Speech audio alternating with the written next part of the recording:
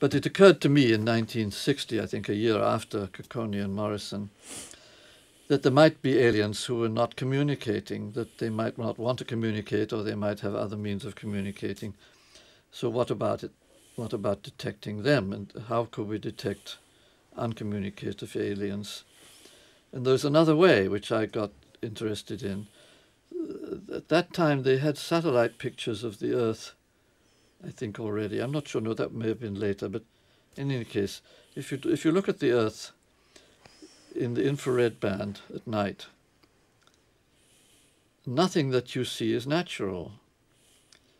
The whole Earth is, in fact, uh, emitting in the infrared band only through human activities.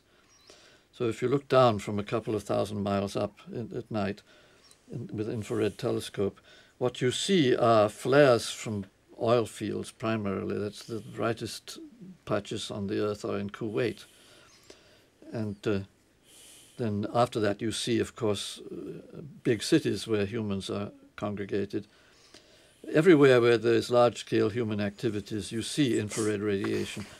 And that's just the result of the second law of thermodynamics, that wherever humans are doing big engineering projects, they have to radiate away the waste heat just because of th the laws of thermodynamics. Waste heat, waste heat has to be got rid of, and it gets radiated away in the, in the infrared band, which is the natural frequency band for activities uh, at a temperature of a few hundred degrees. So why not apply that to the universe at large? So if there are extraterrestrials who are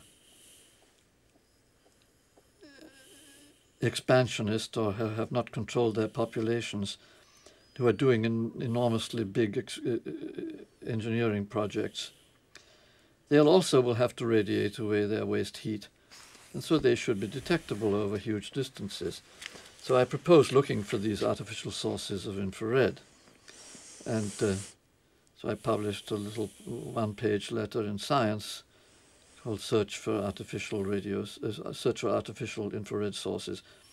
And uh, that was fine. And, and, and, and uh, in recent years, there has been some activities in that direction we haven't discovered anything artificial. We now have very good infrared telescopes, and so that large numbers of sources have been found, nothing that is suspected of being artificial. But it, it, it's another channel which should be exploited.